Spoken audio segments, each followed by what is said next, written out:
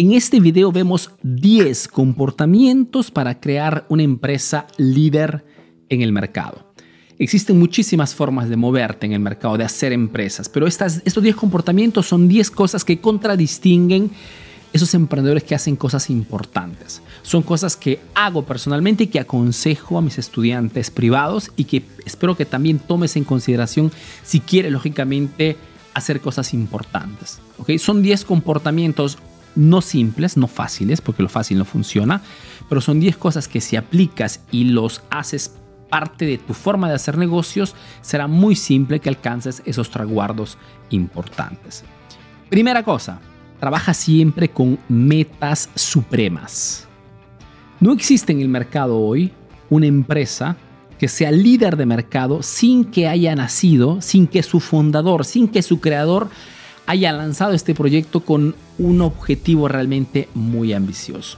Una meta, una meta suprema es una meta muy ambiciosa, una meta que en este momento podría ser podría parecer fuera totalmente de tu alcance, pero solamente una meta realmente ambiciosa generará en el emprendedor, en el dueño de empresa, ese compromiso necesario, esa renuncia muchas veces a las cosas que te gustaría hacer, todo por darle el enfoque a la empresa. Porque donde te enfocas, crece. Cuando hay una empresa no funciona porque el enfoque, el compromiso no es total. Entonces, el primer paso que te aconsejo, cualquier sea el proyecto que quieras lanzar, es establezco una meta económica muy ambiciosa. Y esta meta económica será mi guía, mi estrella polar, mi brújula hacia el cual me voy a dirigir. El punto es muy simple. La mayor parte de emprendedores no evalúa, no toma en consideración, desconoce totalmente la enorme cantidad de energía que requiere hacer funcionar un negocio mucho más hacer que ese negocio sea líder de mercado. Y esta energía, energía que lógicamente incorpora enfoque, dedicación, determinación, constancia, esa energía, ese nivel de energía dependerá exclusivamente del objetivo que te habrás propuesto. Simple como esto. Más es grande tu objetivo supremo, tu meta suprema, y más simple será que tengas una actitud totalmente determinante respecto a un objetivo normal, alcanzable, real.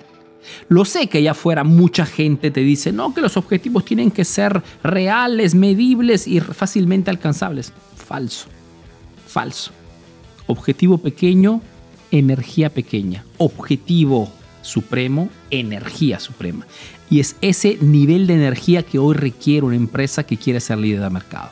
Segundo comportamiento, construcción y perfeccionamiento de un team poderoso. Ser líder de mercado, de un nicho de mercado, requerirá sí o sí un emprendedor junto a un equipo, un grupo de personas comprometidas que sepan hacer el trabajo, personas con grandes habilidades, personas que realmente hacían los mejores en cada área de su desempeño. El crear y perfeccionar tu equipo de trabajo es la constante. Si es verdad que el emprendedor por una parte tiene que estar enfocado en la innovación y el marketing a nivel estratégico, a nivel práctico, tiene que estar enfocado en el equipo. El equipo es tu cuerpo dentro de la empresa. Tu equipo son tus brazos, son tus ojos, tus orejas. Por ende, tienes que perfeccionarlo constantemente. Difícilmente creamos grandes cosas solos. Es prácticamente imposible. Es el equipo la constante. Entonces, dale toda tu atención posible. Desde cuando selecciona a las personas para que entren hasta el mantenimiento. Capacítalas, crea siempre una comunicación abierta, crea incentivos, crea premios, haz que estas personas se sientan parte integrante de una, de una empresa. Porque cuando una persona se siente parte integrante de algo más grande, ¿ok? pues lógicamente es más comprometida. Incentívalas, no trabajes con el miedo, trabaja con la, la motivación, trabaja con la aspiración, crea una, un espíritu competitivo positivo. Haz de modo que esas personas se sientan, transmite tu misión, tu visión de empresa. Estas personas harán que tu empresa, tu proyecto, tu sueño se convierta en realidad. Solamente pero si le haces partes integrantes de ese proyecto más grande. Team poderoso, fundamental. Tercera cosa, trabaja con un producto que sea controlable. Lo que te quiero decir es que hay una frase muy importante que es, si no puedes controlar tu producto, no podrás controlar tu negocio. El producto que vendas o el servicio que ofrezcas tiene que ser algo que tú puedas modificar, que tú puedas cambiar, que tú puedas en alguna forma innovar. Porque solamente es cambiando el producto, modificándolo, innovando que podemos cambiar el mercado, que podemos competir más fácilmente, que podemos aumentar nuestros precios. Y es ahí la diferencia ¿no? entre quien hoy vende o revende. Quien revende un producto de otra marca está en una posición bastante limitada porque no tiene el control del producto. Muchas veces no puede ni siquiera decidir el precio. Entonces, ¿cómo haces marketing si un competidor puede tener las mismas condiciones tuyas? Se hace una condición totalmente negativa. Si quieres ser líder de mercado, tienes que crear tu propia marca. Y para crear tu propia marca tienes que tener el control del producto. Personalmente no haría ningún negocio en la cual no pueda controlar el producto, porque sé que estoy en condiciones pésimas. Si al contrario tengo el control, por ejemplo, este proyecto Emprendedor Eficaz me gusta y me he enamorado mucho de este proyecto, ok, no solamente por el enorme impacto que genero, sino sobre todo por el hecho de que puedo controlar o decidir qué cursos lanzar, cuántas lecciones dar, perfeccionar un curso, decidir el precio de lanzamiento, decidir el precio normal. Che, tengo el control total de este, de, este, de este negocio y esto me permite poder moverme con más tranquilidad en el mercado, de posicionarme de repente como producto high ticket y no como producto low ticket, producto masivo, porque me da mucho, perfeccionar la asistencia al cliente, la experiencia de compra. hay siempre el modo de poder intervenir siempre que tengas el control del producto. Tú debes pretender tener el control del producto. Y si hay algo que no puedo controlarlo, pues lo dejo. ¿Ok? Porque no es un negocio escalable. Cuarta cosa que te aconsejo, aprende a conocer y a reconocer bien tus números. Aprende a caminar con tus números.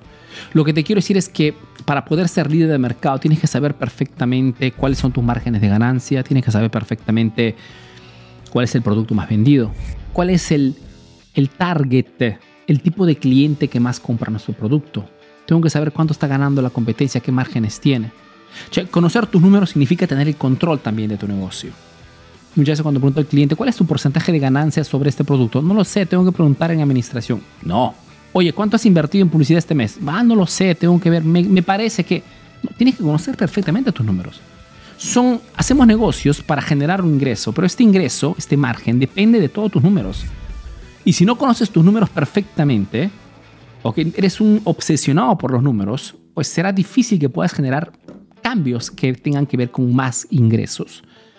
Entonces tienes que conocer todo, tu margen de ganancia, cuál es el producto más vendido, eh, cuánto, cuánto, has invertido en publicidad, cuánto invertimos todos los meses, cuánto nos costa cada lead cada cliente potencial, cada número telefónico, cada cliente que se pone en contacto con nosotros, cuánto es el costo.